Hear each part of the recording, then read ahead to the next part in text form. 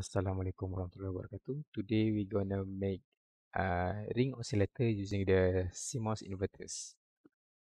So first, open your microwin, select the foundry at 0.8 micrometer uh, technology. Okay. Then we need to generate PMOS uh, with the width should be 3.2 micrometer and the length should be 0.8 micrometer generate, put it up here.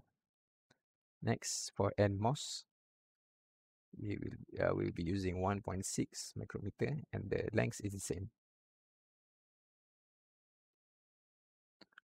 Uh, put it down here. All right.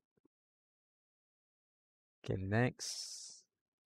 We, okay, next we want to flip the inverter, uh, the CMOS and the NMOS using the edit flip and rotate, flip horizontally.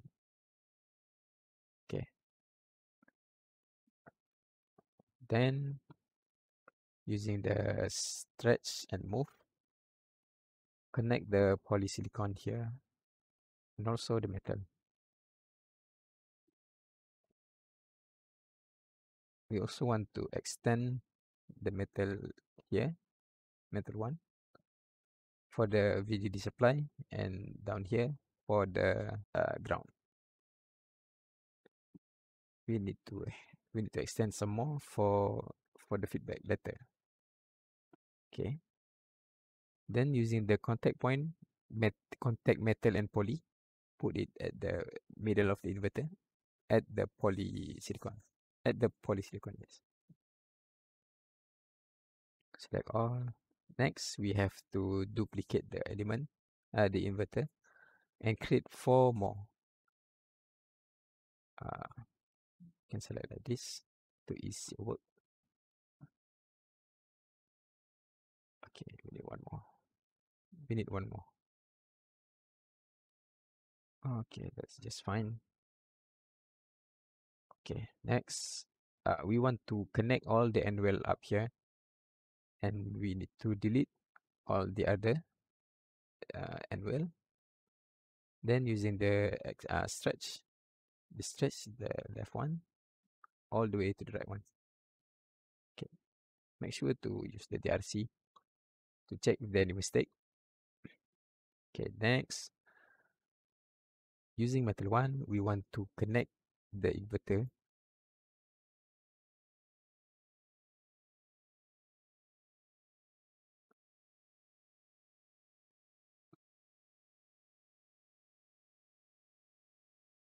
and this is for the feedback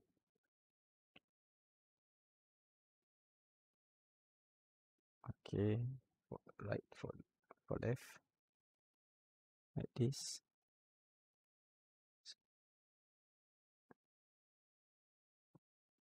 Okay let's zoom out a bit. Okay. Extend it down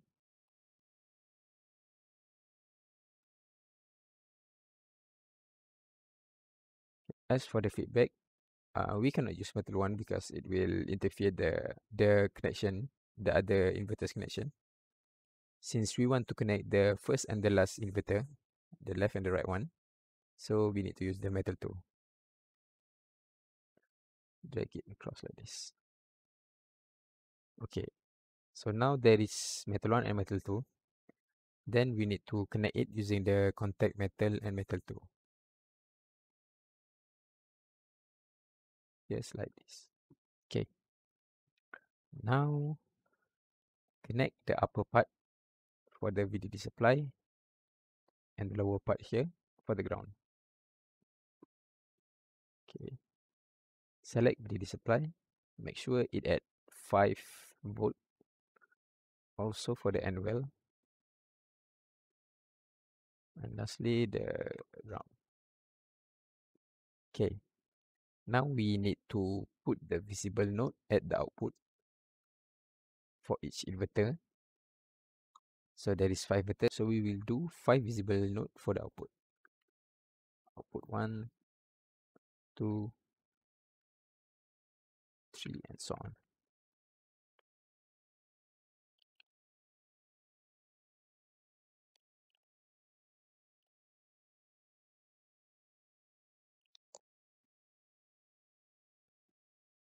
Make sure to check the DRC and that's it.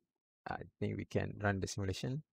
Okay here we need to increase the time scale to 5 nanometer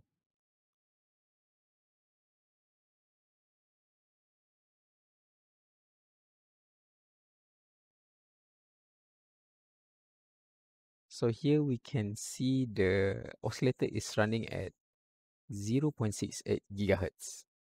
That's all.